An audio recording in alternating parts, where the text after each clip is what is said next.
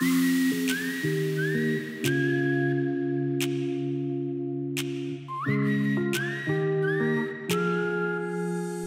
Hey friends, thanks so much for watching. Welcome back to my channel. And if you are new here, thank you so much for clicking on today's video. Today I am bringing you tons of cleaning motivation. My house was a true mess. I have been doing a couple of upstairs renovations, so there will be no upstairs cleaning today, but lots of downstairs cleaning motivation for you. So definitely make sure you hit the like button if you enjoy this video. And if you are not already subscribed to my channel, make sure you subscribe before you go. Let's go ahead and get cleaning.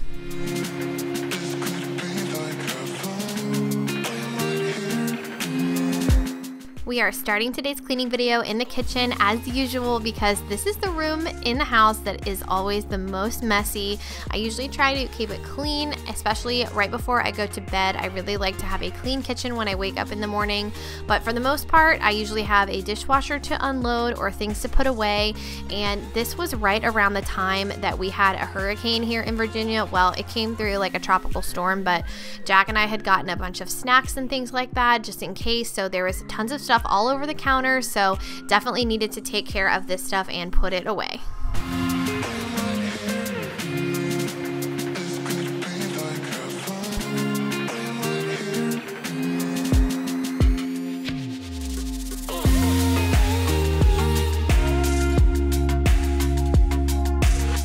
Let me know what you guys are doing while you're watching today. I hope that you are cleaning along with me and tackling all of the things on your to-do list.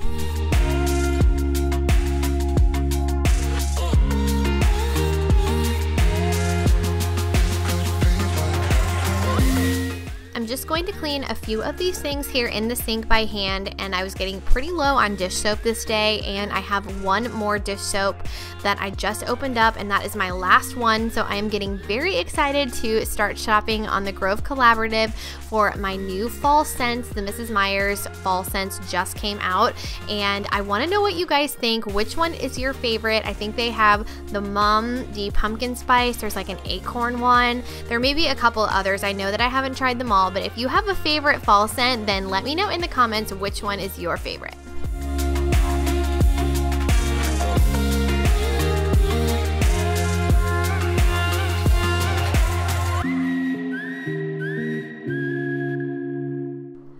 To dry off these couple of dishes here that I washed by hand and then we are going to get to cleaning out my sink because when the light shines in my window like this, I find it the best opportunity to clean the sink because you can see every little bit of dirt that is in it. Drunk, I've never seen you clearer than. We're flying high, floating somewhere up in the clouds. Going out of ourselves, can you feel it? Almost like I don't know if it's real. Cause when we're doing our thing, we're like wheels that won't stop turning. So take me on a trip, trip, trip Now, trip, trip, trip. Oh, flick that switch, kill the lights.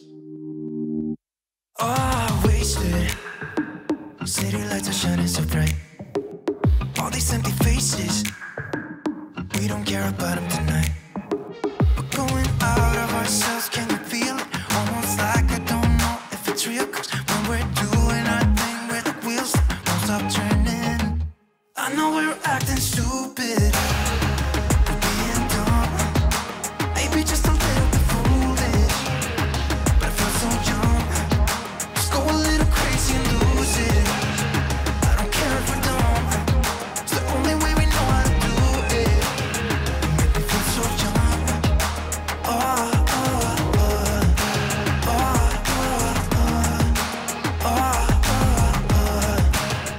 usually like to dry my sink out when I am done cleaning it just to make sure that I get every bit of residue.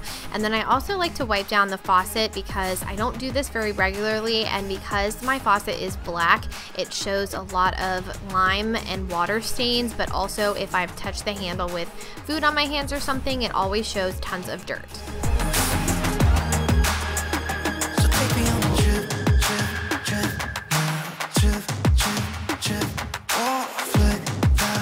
My kitchen window is one of my favorite windows in the house because I just love being able to look outside while I'm doing dishes and stuff, but I definitely cannot reach the top part of the window, so I did have to get Jack to help me reach the top part. And as we were cleaning the window, we noticed that the majority of the dirt was on the outside, so I am probably going to suggest that we tackle cleaning the outsides of the windows pretty soon. If you guys know any good tools or products for cleaning the outside of your windows, then definitely leave those in the comments so that I can do a video on that and share with you guys all of your recommendations.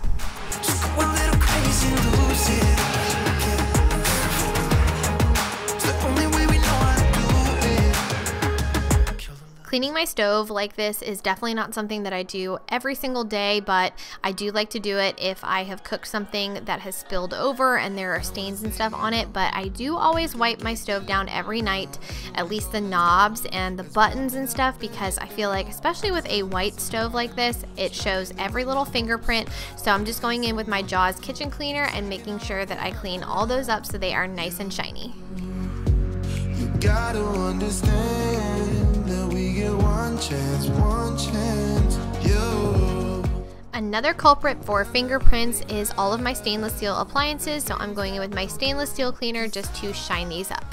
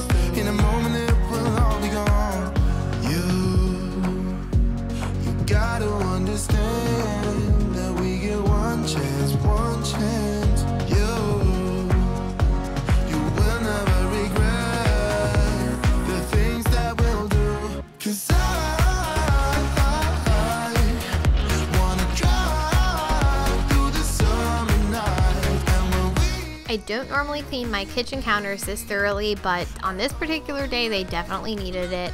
And these plants here that I have in these mason jars, I had propagated from another plant in my house and they were just about ready to plant.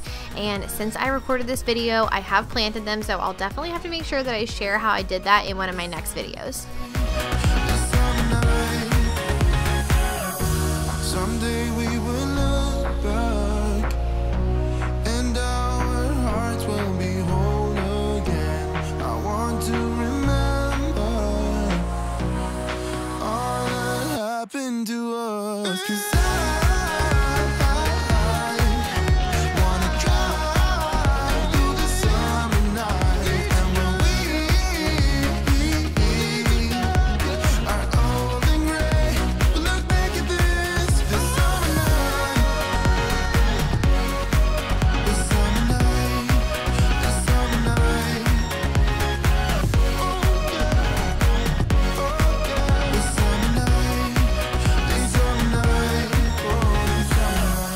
I don't think that I had cleaned off this cake stand or my diffuser in a really long time either. I just sometimes forget about it, but I love this cake stand and diffuser and the way that it looks. I have seen so many different ways to style diffusers, and if there is a certain way that you style yours in your home, then definitely let me know how you do it in the comments because I'm always looking to change things up.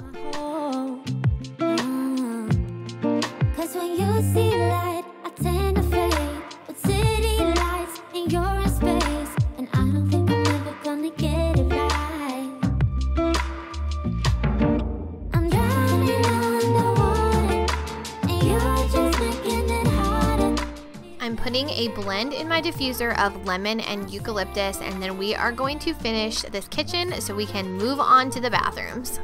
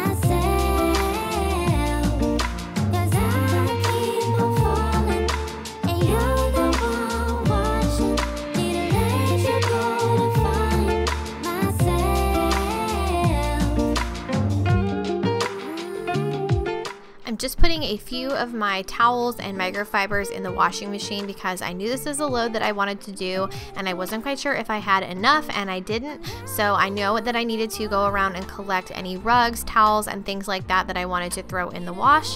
And while I was in the bathroom, I went ahead and tackled the sinks and then the toilet. I'm just using the Jaws shower cleaner to wipe and disinfect everything.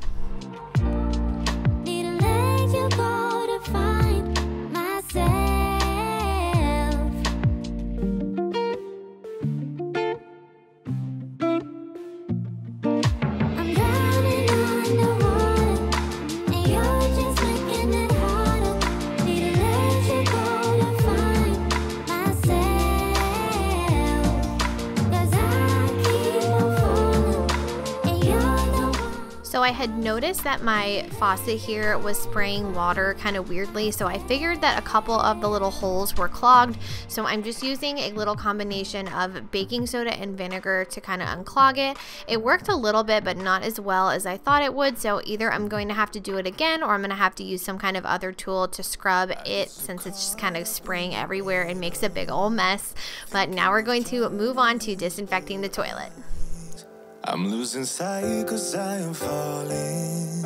I'm so deep down, deep down. And it's not a lie that I die. I can't hide.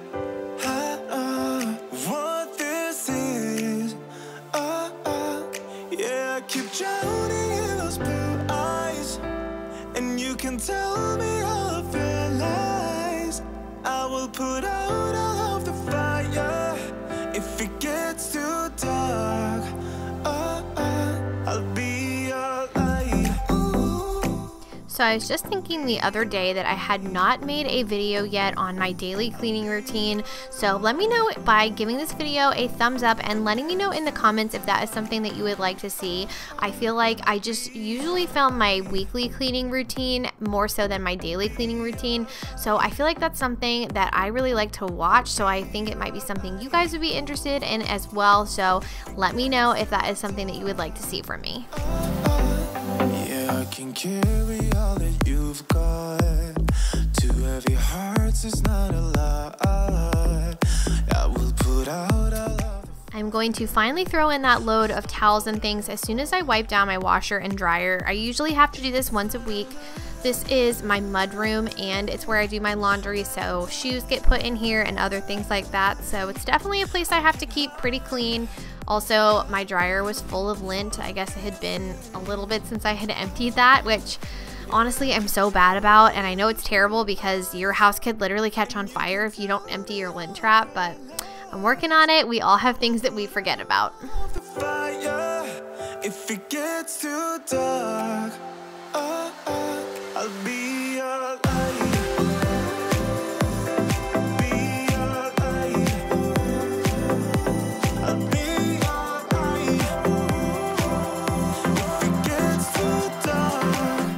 Speaking of lint, there's usually lint on the floor in here as well as dirt and things from shoes being stored in this room. So I'm just going to give it a quick vacuum. I will come back and mop this space later when I get my mop out, but I'm just going to kind of go around the house and spot check a few places that I need to use the vacuum cleaner. I don't always use the vacuum cleaner downstairs very often since I have a robot vacuum that takes care of the majority of things for me. But if you guys didn't know, this mudroom is actually a step up from my kitchen. So this is not a place that my robot vacuum can go unless I put him in here specifically. So a lot of times I will either just put him in here and shut the door and let him do all the work. But today I decided to get in here myself and get all of the nooks and crannies.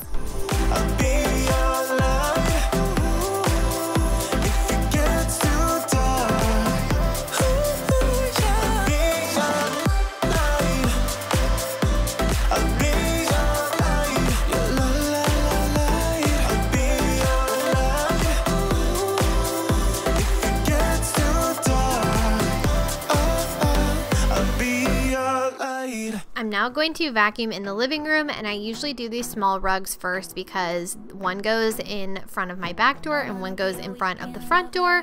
So I'm just going to clean these really quick and then put them back and then we are going to vacuum the rug in here. I'm also going to tackle the perimeter because the robot vacuum has a really hard time getting up onto this carpet. So most of the area surrounding the carpet does not get touched by him either.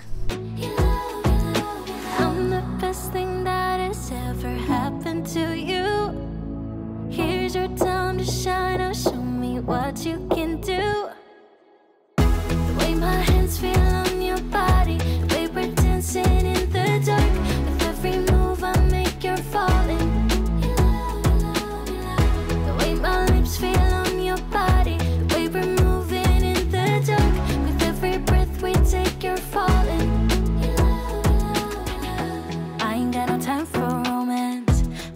Now is a great time for me to say thank you guys so much if you are still watching this video. Let me know if you are still watching by leaving an apple in the comments since school is starting again soon and I am going to be going back to my regular 9 to 5 as a teacher. I'm actually kind of looking forward to it even though this year our school is going to be doing virtual learning so it is a big learning curve for me for sure but let me know by leaving that apple emoji down below if you are still here with me.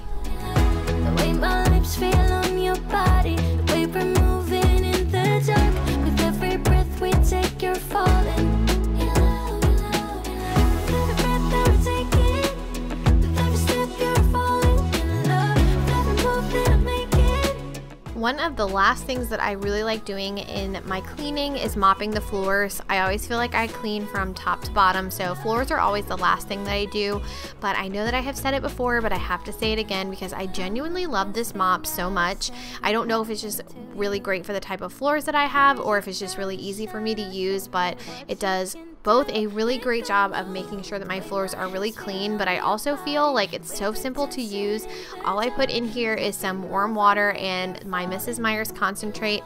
I have been trying a bunch of different scents. I think this one was the lemon verbena. I have also tried the honeysuckle and some other ones, and it just makes my home smell super fresh and clean, and I love that it is mostly non-toxic. take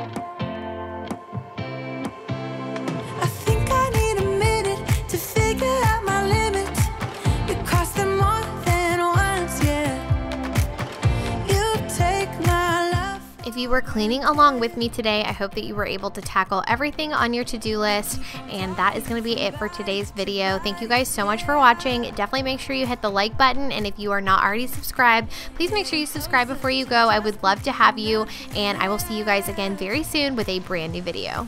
Bye guys.